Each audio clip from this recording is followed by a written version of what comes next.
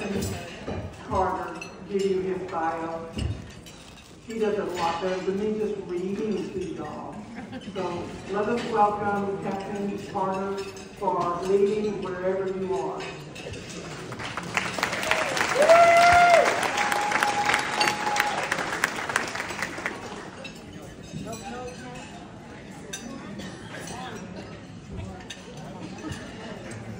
Can you hear me now? Can you hear me now?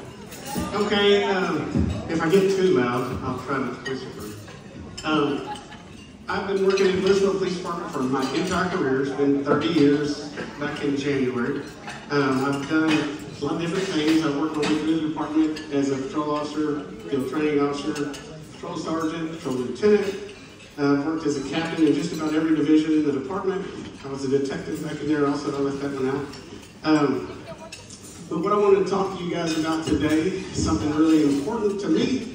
Um, it's really nothing new to you all because I believe leadership is something everybody uh, can do. And I think everybody in this room is a leader. Uh, you may not think of yourself as a leader, you might think of yourself as somebody said earlier this week, I'm just a member. Or somebody might say, I'm just a patrol officer. I'm just this, I'm just that. But the reality is, everybody in here is a leader and has the opportunity to lead.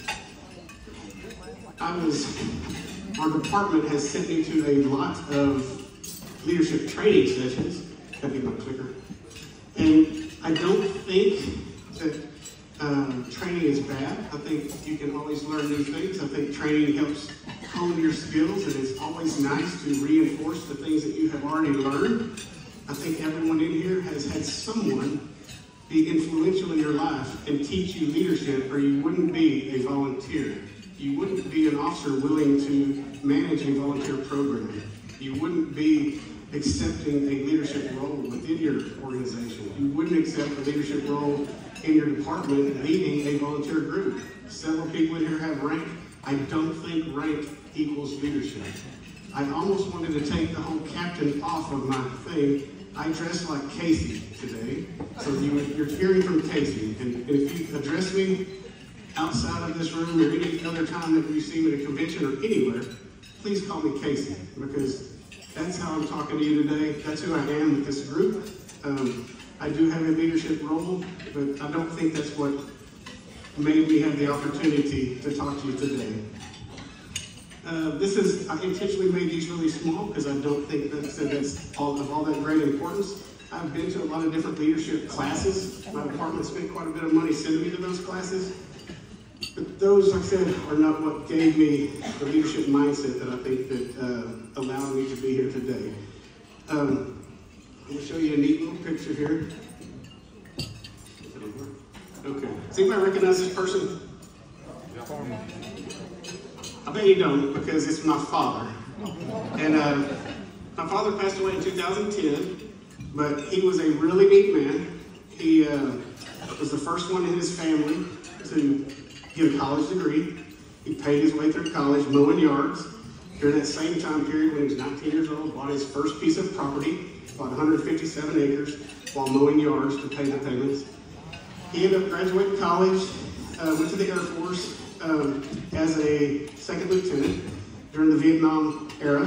He didn't actually ever have to deploy, but he told me one of the most difficult things he ever did was having to tell a young man that he was going to have to deploy to the forward air base and be in harm's way. So that's a pretty difficult thing for a 23-year-old man to do.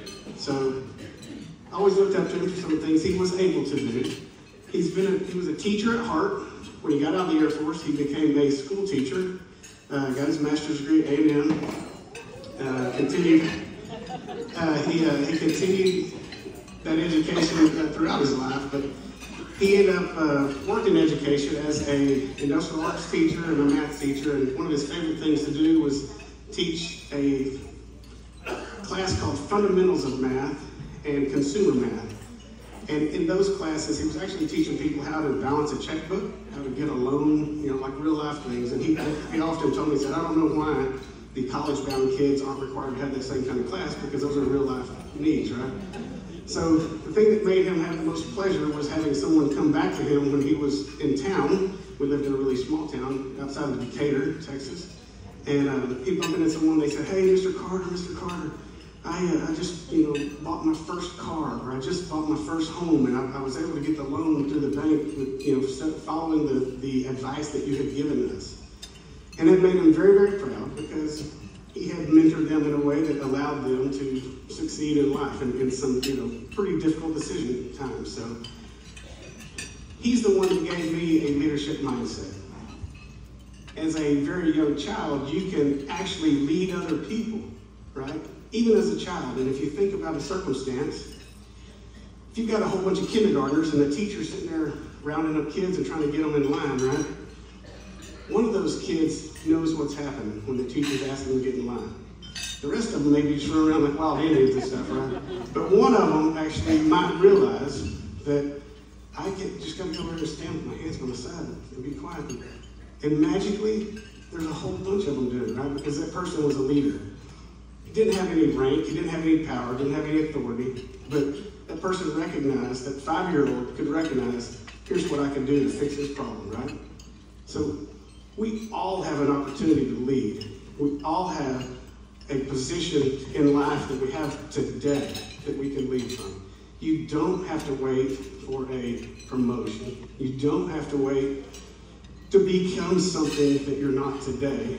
You are a leader. You're in a position where you can lead from wherever you are. Absolutely, people just like you that are you know, volunteers you're leading in your community. Think about the other people in your community that are watching what you do at the police department.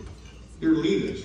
Do you know why, when we have a CPA, what is the purpose for the police department hosting a CPA and inviting you into their building? Anybody know? It's community outreach. We're trying to bring the community into the police department to understand what we do.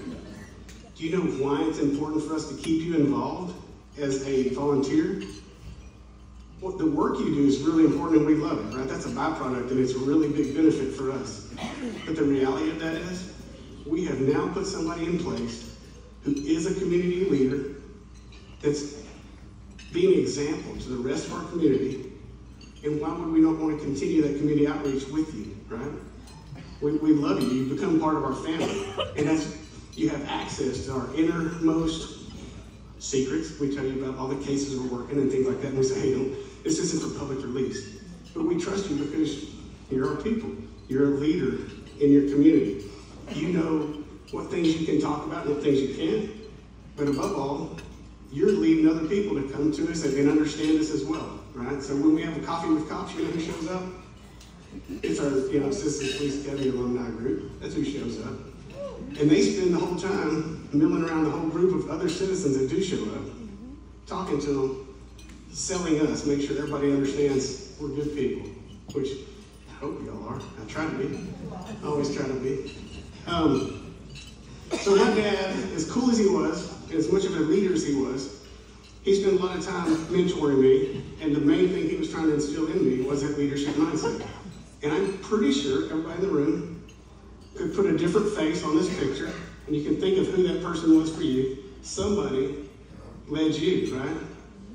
They may or may not have had the same kind of uh, dad humor that my dad had, because the reason this picture was actually taken is he asked my mom to take it and said, I wanted all of my friends to see this picture to know that I was outstanding in my field. and the reality was, he's outstanding in his field, right?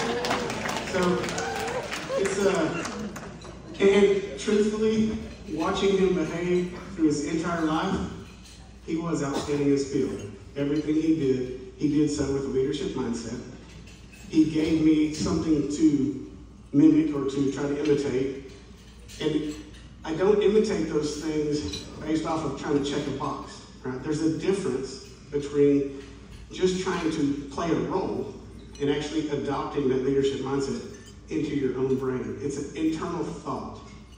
I found that throughout my life, whatever I was doing, wherever I was, whether it was in junior high or high school or, or college or getting the first job out of college, I ended up being asked to be a leader in that organization. Or, you know, they, they have a vote for some, you know, captain of the team or something like that.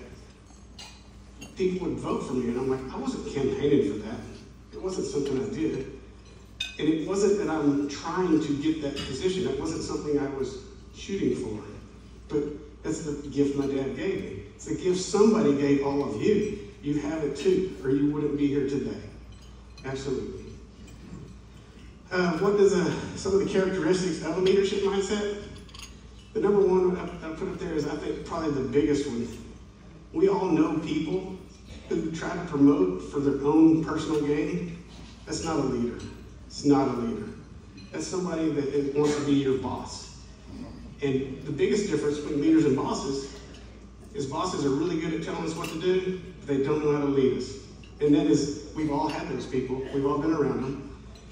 The uh, thinking of the organizational success instead of their own personal success, that's a leader, right? So when when somebody with a leadership mindset considers promotion, somebody's asking them, hey, you might want to consider for them for the sergeant's exam.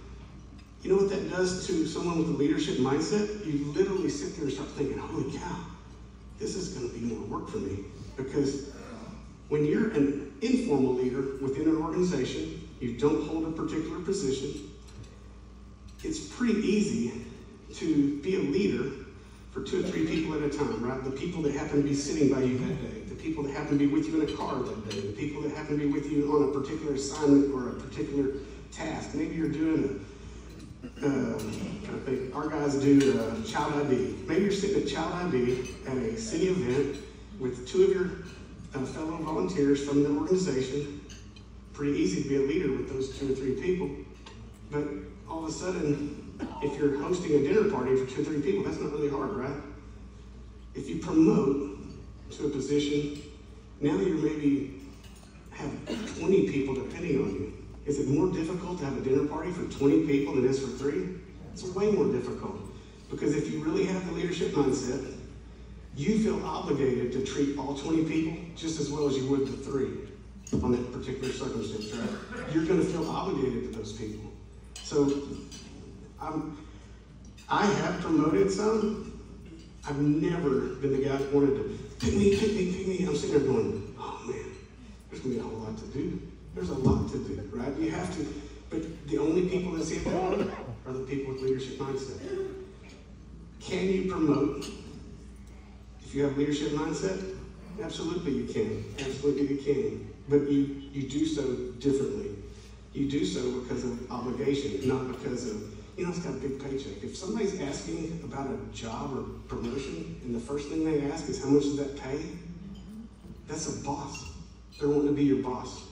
They're wanting to get the position for some personal gain. I'm not saying that you shouldn't take care of your family, and pay does come into play at some point, but, but the reality is the first thing you think about should be, can I, can I provide to that many people what I need to provide to that many people? Am I the right person for that job, and can I do it? we, uh, so uh, informal leadership is what many of you guys do, right?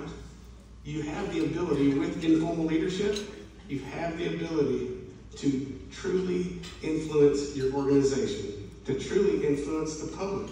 You can actually have influence on your police department that you're volunteer for. If you're an officer, you have an opportunity, if you have the leadership mindset, you get the respect of your peers, you have an opportunity to actually change your PD. Your chief will listen to what you have to say because they recognize the power you have. The thing you have to do, if you find yourself in that position, you have gained honor and respect from your peers as an informal leader, always relying on a leadership mindset to make decisions. If you all of a sudden use that power to derail something and go completely against the leadership of that organization, you've used your power inappropriately, right? Some of the best leaders, remember the I think that was me. Um, if you if think about the analogy I made with the kindergartner a while ago, if that kindergartner decided, you know what, I could stand over here in line and I could lead everybody in the right direction, but you know what, Instead, I'm going to see if we can all pretend like we're chickens and run over here and act like a chicken. It's started that because everybody's going to follow that person. They've been following before. If you're that informal leader, and you draw everything away from what the chief of your organization is doing, what the president of your organization is doing, you've used your power inappropriately because really with that power you get from having a leadership mindset, it's a great responsibility. You got to think about what you're doing. I'm not saying you have to agree with everything that your chief says or everything that your president of the organization says, but there's a right way and wrong way in every circumstance to disagree. And you can you can disagree, it probably shouldn't be in front of a group of 400 people, right? It shouldn't be in front of a group of 10 people. It should be a one-on-one. Let them know they will respect you for whatever your opinion is, but they also have to look because they're the ones having the dinner party for 50 people or 100 people or 200 people, however big the organization is, and they're trying to do the most good with the decisions they make. So think about that. Like I said, it's like Spider-Man said, with great power comes great responsibility. Um, look around the room, think about everybody at the table you're sitting at. Think about how that person's leading in their life right now. Think about how that person across the table might be influencing you this week. We've had a great time this week. I love this. This is like a recharge your batteries week for Casey. I always thought this is my 12th year to come to this. I love it. Y'all are all my family. Most of y'all know me because I do spend a lot of time in the hospitality suite. I'm, I'm sorry. Um, it is a lot of fun, and if I haven't talked to you or, or got to meet you individually, if you're one of the new folks, or even if you've been here for a while or to several different years and I haven't had a chance to visit you personally, please grab me before we're gone today. I would love to sit down and visit with you because everybody here has something to contribute. This is a wonderful group of people. Y'all are like family to me. And it's really because we're all like minded people. Y'all think the same way I do. Y'all are leadership minded people. And you can tell by the fact that you're here, right? You wouldn't have driven as far as you've driven to get here and spent the time with us if you didn't. You're going to go back to your agency and you're going to tell a bunch of people, you didn't get to do what I did. Oh my gosh, you should have seen all those neat people we hung out with, right? And we had some really neat presenters. I literally was sitting in several of the classes and I was thinking about, I don't write, clearly I don't write down my speech or whatever what I'm to talk about. It just kind of flows. Um, and I didn't drink a beer and a half for it to make sure it didn't flow. um, anyway, uh, sitting in several of the uh, classes this week, I'm hearing some pieces of my speech that I had planned in my head. I'm like, they're going to think I'm a plagiarizer. But the reality is, we're like-minded people. We see things the same way, and we all know how to lead from where we are. That's what makes us similar. We're here, and it's what makes it fun to talk to one another, right? Um, think about who it was. Somebody was outstanding in their field, right? That made you take note and made you be how you are. Just think about that for a minute. Who is that person to you? And are they here, right? They might be. Honestly, they might be. Um, put them in that field. You can put them over my chunky dad. Uh, put, put that picture out in that field and, and, and understand that they're outstanding in their field and they might would appreciate hearing that from you at some point, right? Um, as far as we talked a little bit about formal leadership, most of what we do is informal leadership. We've all agreed that you can promote if you're a informal leader with a leadership mindset, you can promote and you can be very effective as a leader. That's actually the best kind of leader, is one that has a leadership mindset, that isn't climbing the ladder for their own personal gain. That's the best leader we'll ever have at an executive level.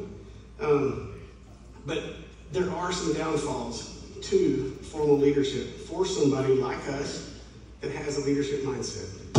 I list them here. The, the first one is you you are going to have to make decisions that negatively affect people that you care about. You're going to have to make decisions that affect people that you care about in a negative way, right? Because you're having to make decisions for a group, not for one person, not for 10 people. You're going to have to make decisions for a group. That is something that probably doesn't bother the boss. They really don't care because they don't think about people like we do. So this is something that affects people with a leadership mindset. So if you accept a position of leadership within your organization, within your PD, prepare yourself because this is going to happen and it will bother you. You'll have a hard time sleeping at night because you're like, God. And you can't make decisions that are great for everybody. It just it doesn't work that way, right?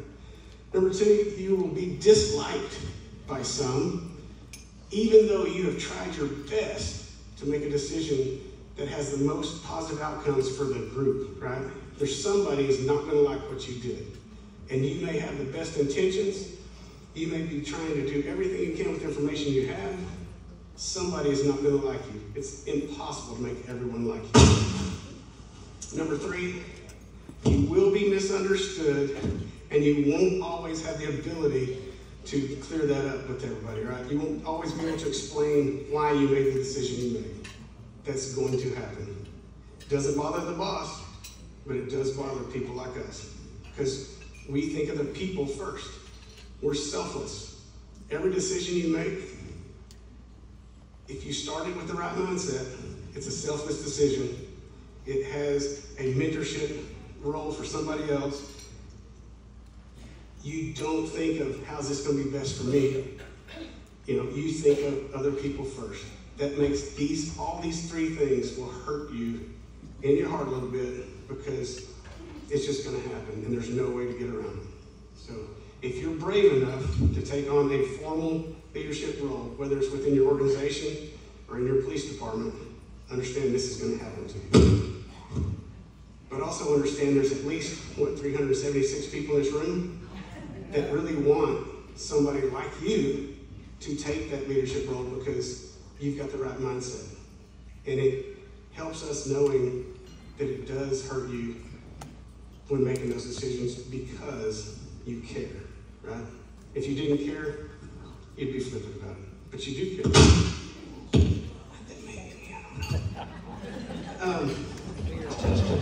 I have. Uh, Just. We good? Is it me?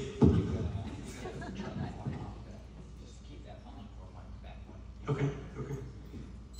Can you hear me? Okay. Can you hear me now? Okay. Uh, let's get you some of my hands instead of being like Ricky Bobby. Okay. Um, I have three challenges for you here.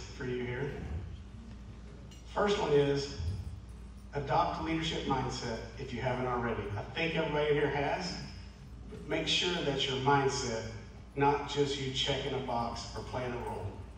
Some people want to just play the role of a leader, and sometimes their example that they're using wasn't a very good leader, and they don't do a very good job because of that.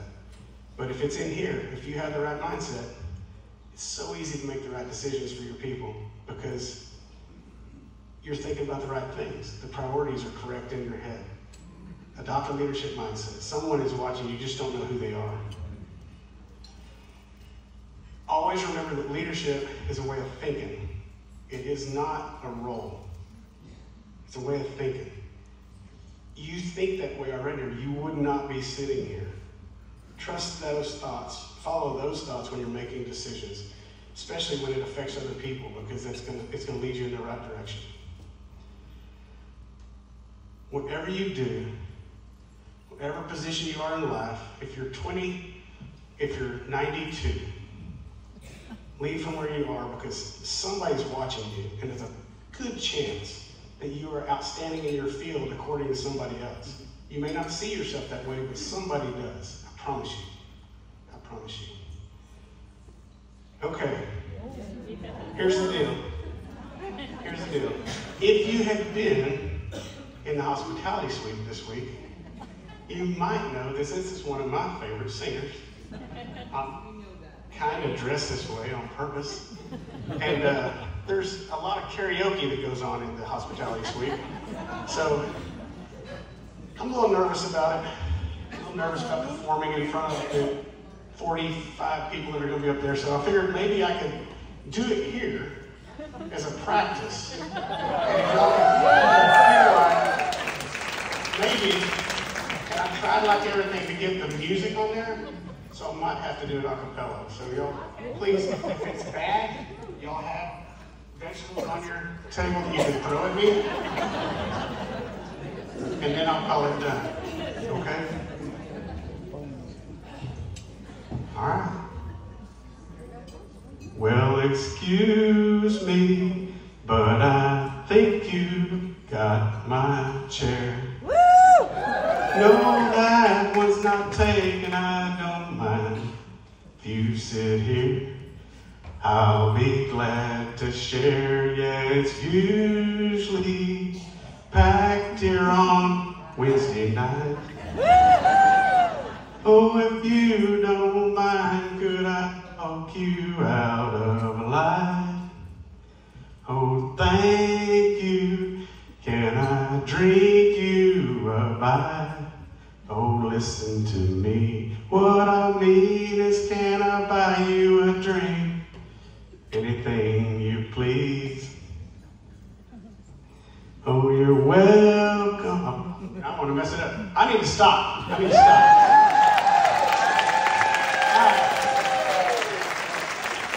If I'm to embarrass myself in front of 376 people, I expect to see 375 other people embarrassing themselves on the 10th floor after we finish all this. So I'm looking forward to seeing everybody. If I have not visited with you, I look forward to doing so. And I look forward to seeing you every year because I'm telling you, you will notice same faces you want to see. And this entire week has been just a big reunion, right? And so if you're new here, don't make it be your last. Please make it be your first of many. I've been coming 12 years, and I thoroughly enjoy it. Thank you, guys. That's awesome.